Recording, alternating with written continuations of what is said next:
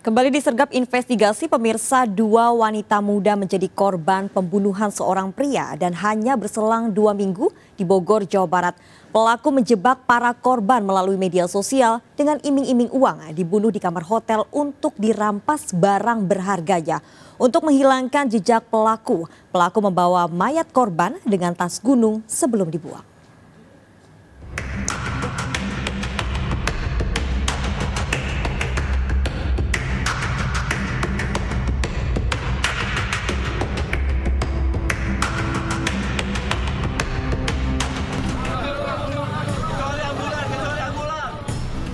Jenazah Diska Putri, siswi SMA yang tewas dan mayatnya ditemukan dalam kantong plastik di Jalan Raya Cilebut dimakamkan keluarga di dekat rumahnya, Cimanggu, Bogor. Diska ditemukan penjaga toko bangunan di tanah sereal di depan pintu pagar. Sebelum ditemukan tewas, korban berpamitan pada ibunya untuk mengerjakan tugas sekolah.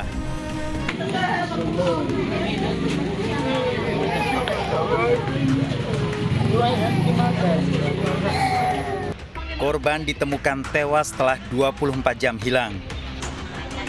Keluarga tidak bisa menghubungi korban sejak siang hari. Bahkan pukul 9 malam, handphone korban sudah tidak aktif.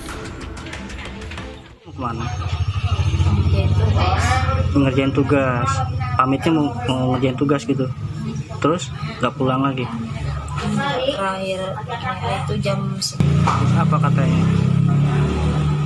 Pulangnya katanya jam 9 malam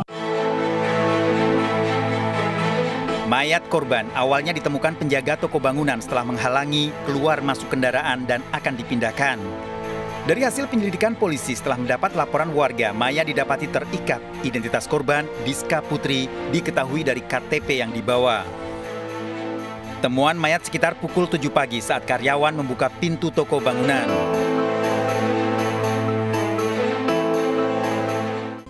Pertama ini karyawan material mau buka mau buka apa pintu gerbang. Ya biasa itu jam biasanya setengah tujuh setengah tujuh. setengah tujuh pagi. Terus dia lihat ada bungkusan nih di sudut nih.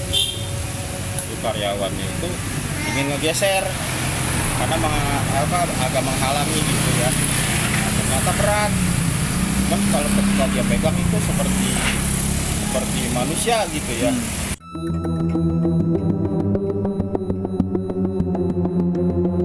Selang dua pekan, mayat seorang wanita ditemukan pencari rumput di Jalan Gunung Gelis, Pasir Angin, Megamendung, Bogor. Korban dibuang tak jauh dari pemakaman keramat dan masih mengenakan pakaian lengkap. saya lagi lewat saya mau ngambil rumput tiba-tiba ada orang-orang banyak banyak di sini dilihatin ada mayat di situ tapi saya nggak dekat sih lihatnya cuman dari belakang kejauhan gitu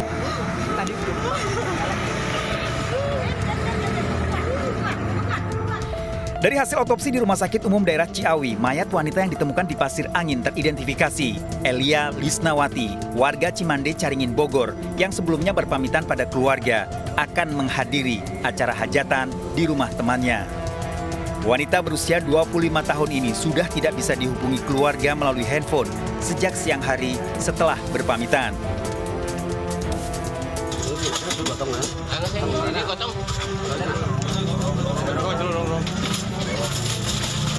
Setelah dilakukan otopsi di Rumah Sakit Umum Daerah Ciawi, mayat Elia Lisnawati diserahkan polisi pada keluarga untuk prosesi pemakaman.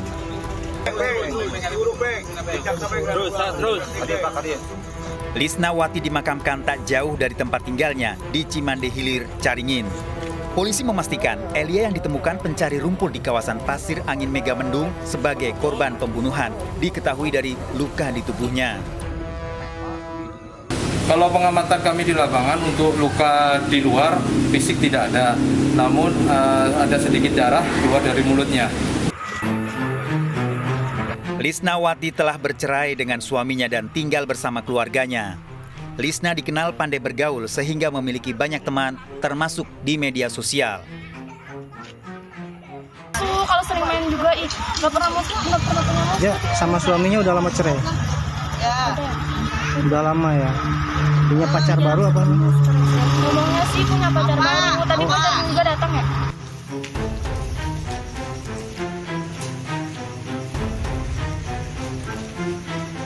Dua pekan setelah melakukan penyelidikan pembunuhan Diska Putri, polisi menemukan jejak pelaku. Polisi menangkap Rian, pria berusia 21 tahun yang bersembunyi di sebuah rumah kontrakan di kota Depok. Rian kemudian mengakui sebagai pembunuh Diska Putri setelah sepakat melakukan kencan berbayar. Iya emang dia perjanjiannya Hmm? BO Terus berbayar berapa? Janjiannya satu juta Terus Dia minta dua juta terus Dimasukin tas gue Iya udah cocok pas ngasih uang Hah? Pas ngasih uang Pesan apa? Pesan apa? pas ngasih uang cekcok. Iya Terus Itu bang. Dia dia berantem pak di mana kamu bunuhnya? Apa? Di satu Bebek boleh. Bebek apa? Di puncak. Iya Rian juga mengakui membawa mayat Diska hingga Jalan Raya Cilebut tempat pembuangan digendong menggunakan tas gunung dari hotel kawasan Puncak tempat berkencan. Lokasi pembuangan mayat Diska tak jauh dari rumah Rian. Korban itu ditekuk, ya. Korban itu ditekuk. Badannya masuk ke dalam sini, ke plastik itu. Dipaksa masuk, Dipaksa berarti ya? Dipaksa masuk dalam ini, gitu ya. Karena udah dekat sama rumah. Sepanjang jalan saya bingung mau buang ke mana. Yang kalian kenceng-kenceng, sepanjang jalan. Sepanjang jalan saya udah bingung mau buang ke mana. Makanya saya buang di sini. Kamu kenal korban memang sudah lama apa gimana? Enggak, baru kenal di forum. Oh, Caranya itu ngebunuh di mana? Di sana Di Cekek. Cekek. Rian selama ini aktif di media sosial karena melakukan jual beli barang secara online untuk penghasilannya. Rian menjerat Diska, siswi SMK yang dibunuh juga melalui rayuan di media sosial. Handphone Rian setelah diperiksa ternyata menyimpan foto-foto Elia, wanita yang mayatnya ditemukan di pasir angin Megamendung. Kemudian terungkap Rian sebagai pembunuh Elia. Dari hasil pemeriksaan, dalam dua minggu, Rian melakukan dua kali pembunuhan. Awalnya tersangka tidak mengakui, menolak. Terdapat foto korban kedua atas nama Alicia Risnawati, 23 tahun, yang baru saja dibuang atau dibunuh, dibuang di daerah Pasir Angin, Megamendung. Di mana kor- korban atas nama Elsia ini dibuang. Tersangka Rian kemudian dibawa polisi ke perkebunan di Gunung Gelis, Megamendung, Bogor, tempat jasad Elia Lisnawati ditemukan. Janda satu anak ini dibunuh tersangka Rian hanya berselang dua pekan dari pembunuhan Diska. Kemudian dimasukkan kembali ke dalam tas ini. ya. Kemudian berapa lama kamu buang di sini?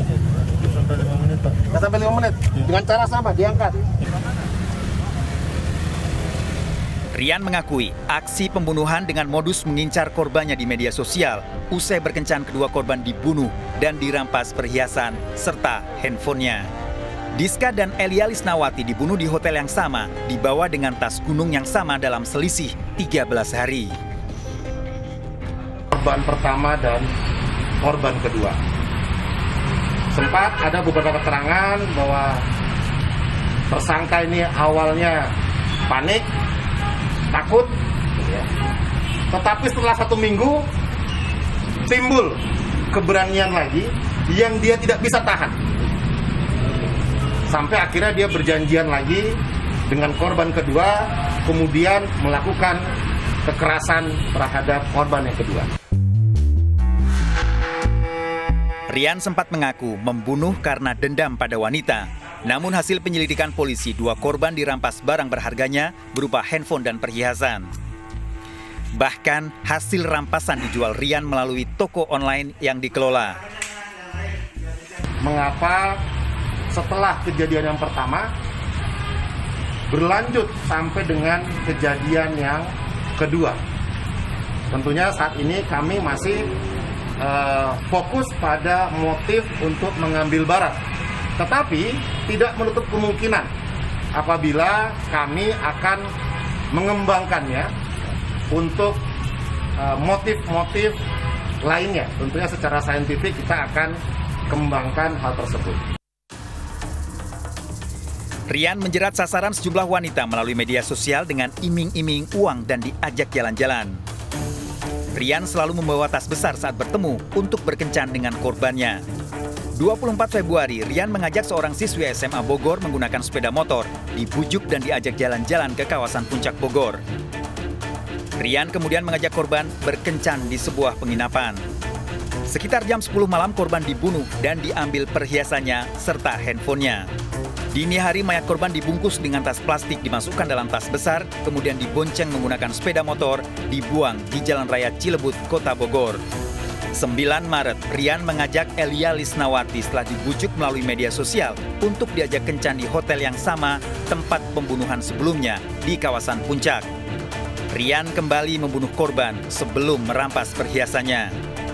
Malam hari mayat Elia Lisnawati dibawa dengan tas besar menggunakan motor dan dibuang di dekat pemakaman keramat Jalan Gunung Gelis, Pasir Angin, Megamendung. Korban berikutnya dan hasil tes urin ternyata yang bersangkutan tersangka juga positif eh, narkotika. Ya, ada pertanyaan? Silakan. Ancaman pidananya, Kami menerapkan pasal berlapis baik itu dengan menggunakan pasal Undang-Undang Perlindungan Anak karena korban masih berusia 17 tahun. Kemudian kami lapis juga menggunakan pembunuhan berencana. Setelah dua minggu menunggu hasil penyelidikan, keluarga Diska Putri menuntut pelaku pembunuhan dihukum setimpal dengan kejahatannya. Saya menuntut pelaku dihukum mati aja. Itu tuntutan saya. Ya baru kemarin aja itu. Saya dikabarin sama Polres Bogor Kota langsung. Mendapat kabar jam 7 pagi itu dikabarin. Memang sebelumnya juga sih dikasih tahu semalamnya.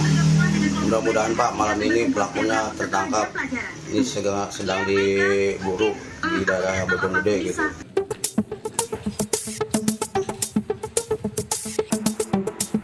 Rian merupakan anak bungsu dari empat bersaudara. Setelah lulus sekolah, memiliki hobi memodifikasi motor antik. Setiap pulang ke rumah, Rian selalu membawa onderdil motor untuk memodifikasi. Selain itu, Rian juga beraktivitas berjualan online. Kaget pak, nggak nyangka. Iya mah di sini bukan saya dong sih masa kaget, banyak. Karena dia di sini tuh kenalnya baik, ramah sama orang, udah gitu anaknya juga pintar bergaul nggak pilih-pilih kalau udah salah bergaul oh saya kaget banget pak saya tahu adik saya begini Rian dijerat pasal berlapis, pembunuhan berencana, perampasan, hingga Undang-Undang Perlindungan Anak dengan ancaman hukuman mati. Selain itu, Rian juga masih harus menjalani pemeriksaan terkait penyalahgunaan narkoba. Dan hasil tes urin ternyata yang bersangkutan tersangka juga positif eh, narkotika. Menurut ahli psikologi forensik Reza Indragiri Amril, pelaku pembunuhan berantai di Bogor telah memahami tindak kejahatan yang dilakukan sehingga kembali melakukan kejahatan yang sama. Bahkan langkah kejahatan yang dilakukan telah berproses dalam jiwa pelaku sehingga menggunakan cara yang sama dalam melakukan pembunuhan dua wanita pada waktu yang berdekatan. Kebutuhan narkotika diduga sebagai pemicu utama Rian melakukan pembunuhan berantai secara terencana. Tapi ketika kita bicara spesifik kejahatan berupa pembunuhan, orang yang mencandu metafetamin atau narkoba jenis syabu-syabu resikonya untuk melakukan aksi pembunuhan itu 9 kali lipat lebih tinggi daripada bukan pecandu. Beberapa angka hasil studi ini menunjukkan betapa sekali lagi destruktifnya penyalahgunaan narkoba terhadap munculnya perilaku kekerasan, terhadap munculnya perilaku kejahatan termasuk aksi pembunuhan.